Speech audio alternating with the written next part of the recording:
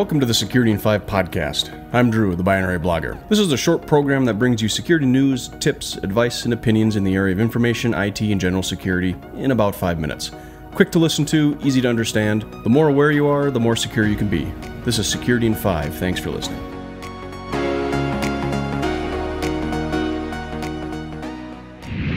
Episode 198 of Security in 5. And today I'm going to kick off a new mini series, a, a 10 episode series on penetration testing and why you should do penetration testing. And we're going to start with off with number one is pen testings will help you meet security regulations, uh, regulatory mandates, and hope potentially avoid fines.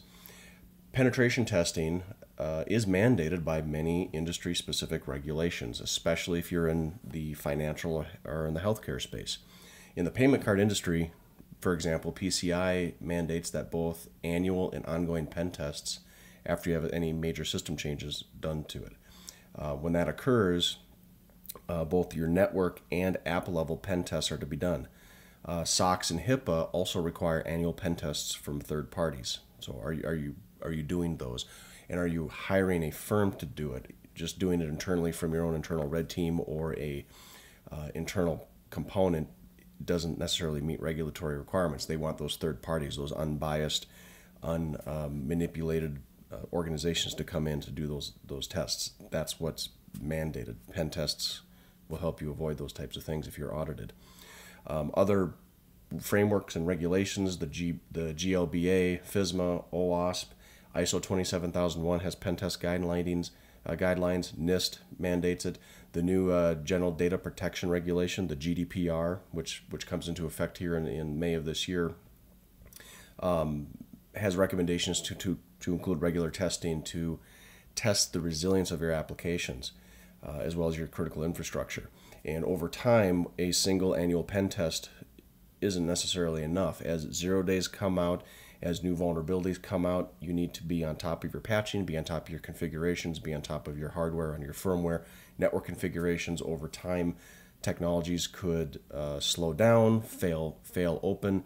You, the only reason, uh, the only way that you can identify those types of activities is to do a penetration test. Actually, test it because that is what the criminals do. And if you just assume that your test from a year ago is going to be sufficient, you might be in for a, a rude shock. And this is what this mini series is going to be about: is penetration testing has always been looked at in the past by as a checkbox approach. It hasn't been organically integrated into security programs as a thing that you do as a behavioral um, change to say, okay, we've just released a big set of code, we've moved up on versions, we need a penetration, not load test it, but pen test it, find the holes, see if there's new vulnerabilities, because God, God knows that just because a patch fixed a security hole here doesn't mean that it introduced a new one patches are known to do that, and you can't identify those. You can't rely on the vendors um, uh, vendors of products to know those types of things. But that's that's why you pen test, and companies will audit others, supply chain vendors, BAAs, all the way down the chain, ask for pen testing to verify compliance. And if you are not following those and you are under a regulatory mandate to do so, that could cost you far more than hiring a firm to do a pen test.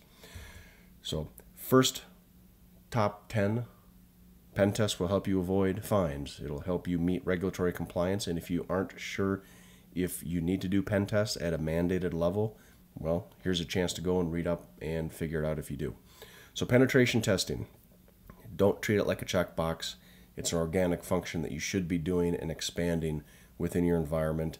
Uh, you only know what you know, and pen test is another tool, another another weapon in the arsenal to help maintain your security of your program and of your business. Security in 5, be aware, be safe. Thanks for listening.